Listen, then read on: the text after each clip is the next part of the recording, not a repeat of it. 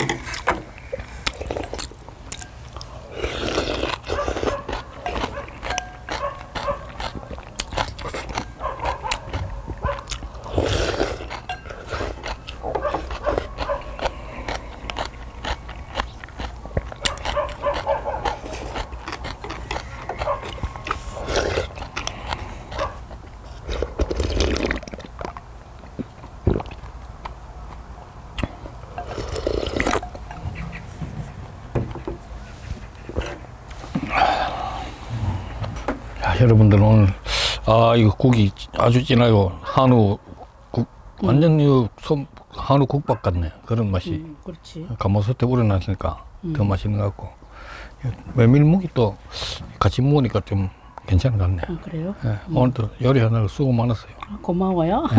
그럼 녹화는 여기까지 뿅. 감사합니다. 감사합니다.